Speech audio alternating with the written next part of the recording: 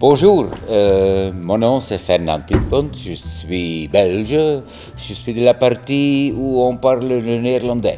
Euh, pour ça, je vous préviens d'avance quand je fais des petites erreurs, mais naturellement la vie c'est toujours avec des petites erreurs.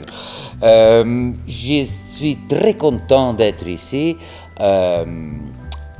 à Saint-Paul de Lyon pour la deuxième fois, il y a deux ans, euh, l'initiative de Gilles de Brunerie France. Selon, c'était magnifique et c'est maintenant encore plus euh, sympa.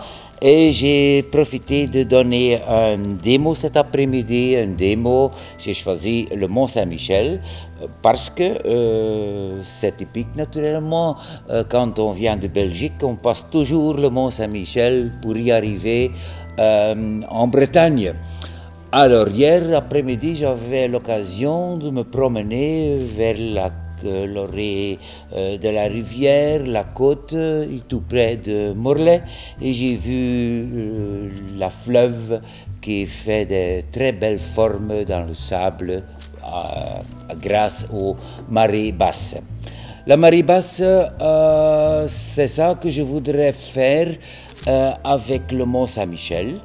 Euh, une impression du Mont Saint-Michel de loin et l'eau qui coule sur les parties de sable. Mais en avant-plan, naturellement, on a déjà un peu de, des herbes, de quelques piquets, etc., des vitres, je passe. Euh, voilà, c'est une impression que j'ai commencé à donner la, la, lumière du ciel et après euh, les formes irrégulières dans le sable euh, de l'eau et un peu plus flou le Mont Saint-Michel. Comme vous avez vu, je ne travaille pas avec des photos, alors j'ai naturellement mémorisé un peu la forme en grande ligne euh, de Mont Saint-Michel.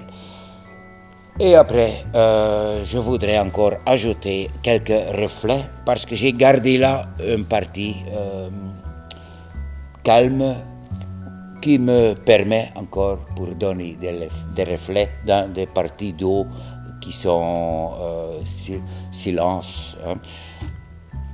Je travaille, j'aime, j'aime euh, de travailler dans le, double technique, ça veut dire des parties dans le mouillé et les parties dans, dans le sec.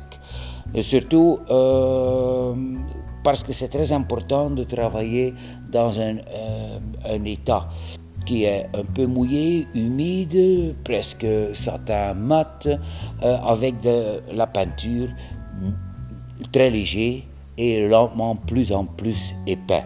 Ça donne des lignes nettes ou des lignes floues dans le mouillé.